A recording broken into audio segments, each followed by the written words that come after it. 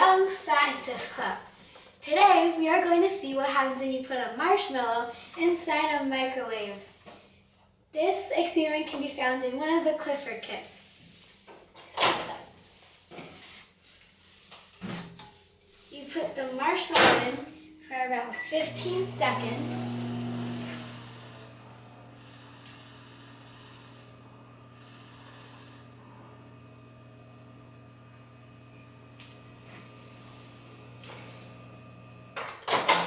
Then, look what happens. They grew bigger because marshmallows have a lot of air inside of them.